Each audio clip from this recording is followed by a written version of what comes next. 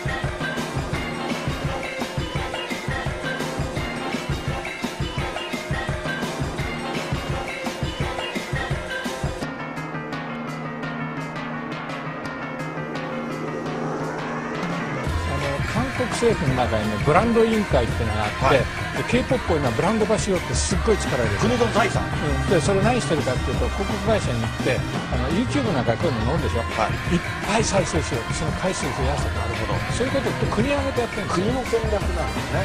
ですね